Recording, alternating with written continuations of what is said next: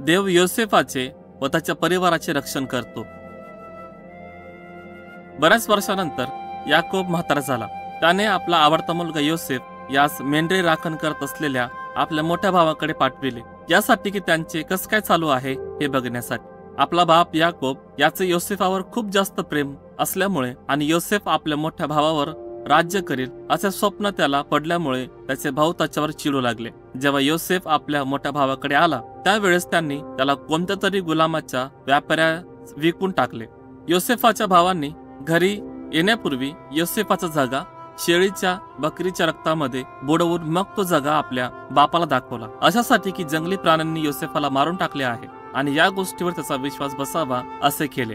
त्यानंतर याकोबाला खूप दुःख झाले. त्या गुलामाच्या व्यापाऱ्यांनी योसेफाला मिसर देशात आणले. नाईल नदीच्या काठावर असलेला मिसर देश हा एक खूप मोठा व शक्तिशाली देश होता. गुलामांच्या व्यापाऱ्यांनी योसेफाला एका श्रीमंत सरकारी अधिकाराला विकून टाकले. योसेफाने आपल्या मालकाची खूप चांगली सेवा केली आणि देवाने योसेफास आशीर्वादित केले. त्याच्या मालकाच्या बायकोने योसेफासोबत वाईट काम करण्याचा प्रयत्न केला. पण योसेफाने देवाच्या विरोधात पाप करण्यास नकार दिला. त्यामुळे तिने रागात योसेफावर खोटा आरोप केला व योसेफास पकडून तुरुंगात टाकून दिले. तुरुंगात पण योसेफ देवाशी विश्वासू राहिला आणि देवाने त्यास आशीर्वाद दिला. दोन वर्षानंतर निर्दोष असताना पण योसेफ तुरुंगात होता. एका रात्री फारूला दोन चिंताजनक स्वप्न पडले. त्याच्या सर्व सल्ला देणाऱ्यापैकी कोणीही त्याला स्वप्नाचा अर्थ सांगू शकले नाही. देवाने योसेफाला स्वप्नाचा अर्थ सांगण्याचे दान दिले होते. म्हणून फारोने योसेफास तुरुंगातून आपल्या घरी आणले. योसेफाने त्याच्या स्वप्नाचा अर्थ सांगितला की देव सात वर्ष भरपूर पीक पाणी पुरविल व त्यानंतर सात वर्ष दुष्काळ पडेल.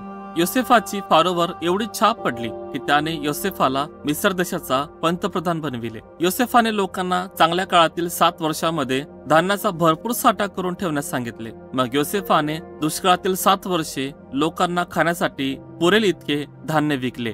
तो दुष्काळ फक्त मिसर देशातच नव्हता तर याकोब आणि त्याचे परिवार राहत होते त्या कनान देशामध्ये पण होता. मग याकोब आपल्या मोठ्या मुलास अन्न विकत घेण्यासाठी मिसर देशात पाठवले. धान्य विकत घ्यायला आलेले भाऊ योसेफाच्या समोर उभे होते पण त्याने त्याला ओळखले नाही. पण योसेफाने त्या सर्वांना ओळखले. ते बदलून गेले आहे की तसेच आहे. हे पाहण्यासाठी योसेफ त्यांना म्हणाला मी तुमचा भाऊ योसेफ आहे. घाबरू नका.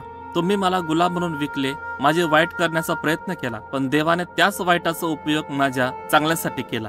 या आणि मिसर देशात राहण्यासाठी या म्हणजे मी तुम्हाला व तुमच्या परिवाराच्या लोकांना अन्नाचा पुरवठा करील. जेव्हा योसेफाचे भाऊ घरी आले व त्यांनी आपल्या बापाला याकोबाला सांगितले की योसेफ जिवंत आहे तेव्हा याकोबाला खूप आनंद झाला. जरी याकोब आता म्हातारा झाला होता तरीही तो आपल्या परिवारासोबत मिसर देशात आला व ते सर्व तेथे येऊन राहू लागले. याकोबाने आपल्या मरणा अगोदर आपल्या सर्व मुलास आशीर्वाद दिला. देवाने अब्राहमाशी केलेल्या कराराचे अभिवचन इसाकाकडे मग याकोबाच्या आणि त्याच्या बारा मुलांकडे व त्यांच्या परिवाराकडे सोपवण्यात आले. या बारा मुलांची पिढी हीच इस्रायलचे बारा वंश आहे.